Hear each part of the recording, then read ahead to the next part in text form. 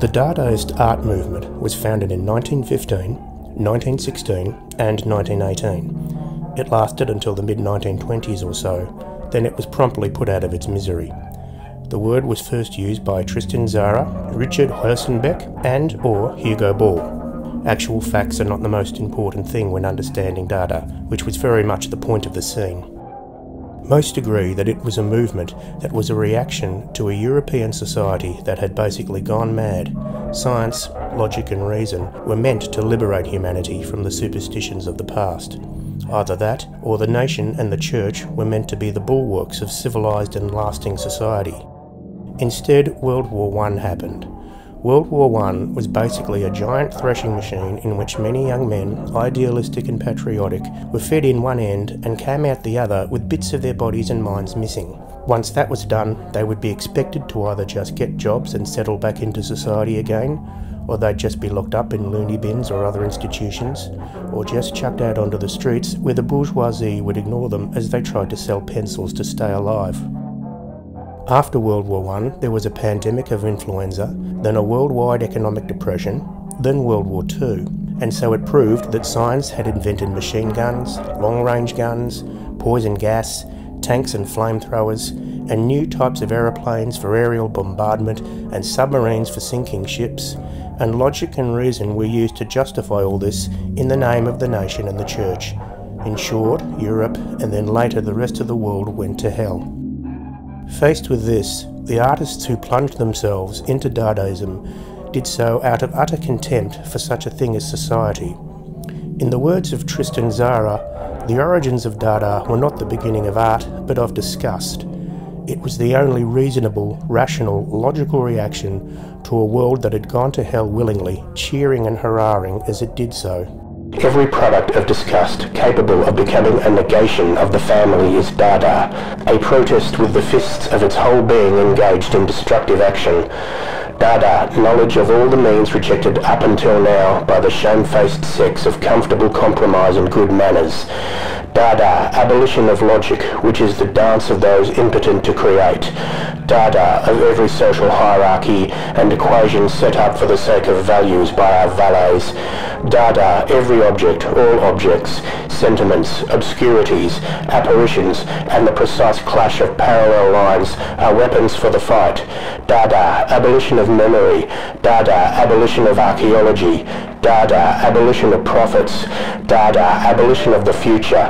Dada, absolute and unquestionable faith in every god that is the immediate product of spontaneity. Rejecting, then, the ostensive reasons of the bourgeois world, they went instead for absurdity.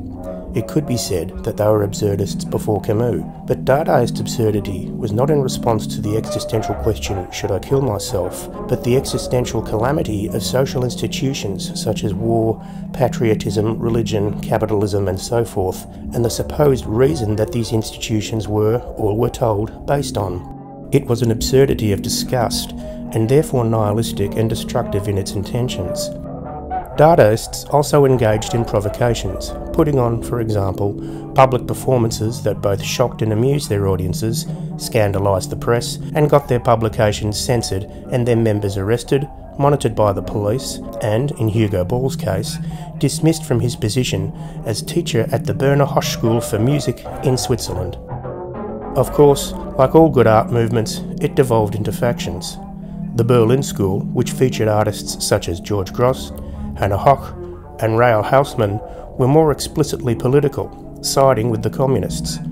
The Zurich Dada, home of Ball and Tzara, leant more on chaos and absurdity without being explicitly political.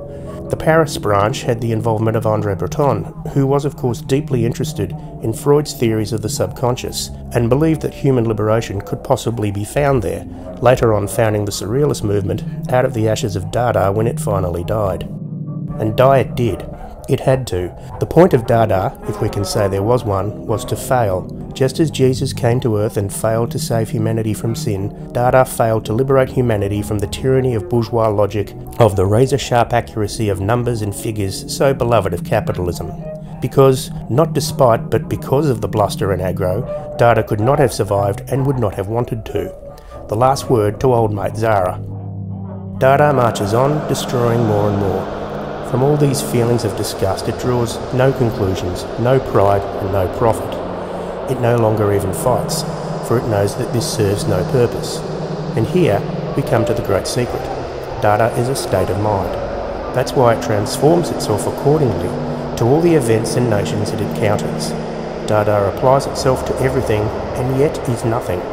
Dada is the point at which yes and no and all opposites meet, not noisily in the palaces of human philosophy, but quite simply at street corners like dogs and grasshoppers.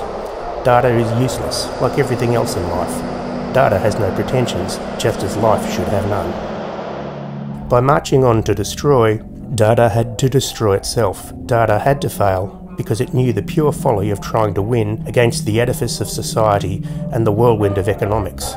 Not that some Dadaists weren't serious about their politics, both during and after Dada, but absurdism demands not some utopian final victory over the forces of stupidity and greed, because to fail in that aim would be the worst failure of all. The failure of Dada was the dignified failure of its own terms, collapsing in its own absurdity and nihilism. Dada was a dead end from the start, and it knew it, and it marched on anyway, secure in the knowledge that its end was coming and that in its time it had disrupted and done all it could do and wanted to do.